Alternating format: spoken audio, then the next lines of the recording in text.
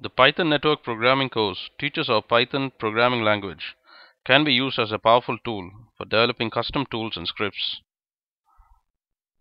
It teaches packet crafting concepts and gets into the details of packet crafting framework Scapy.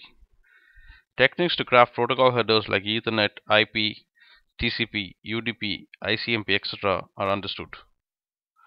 The procedure of appending, sending and receiving packets at layer 2 and layer 3 of the OSI model is analyzed. The basics of Python and assertions required to perform network programming are understood. The methodology by which Python can be integrated with the packet crafting framework Scapy and how it can be used to build custom network tools like packet injectors, IP scanners, spoofers, speed testers, etc. are understood. The course uses a lab where the demonstration and verification of packet crafting techniques are shown. The procedure to develop, demonstrate, and verify the working of custom network tools, along with the explanation of source code and implementation is done.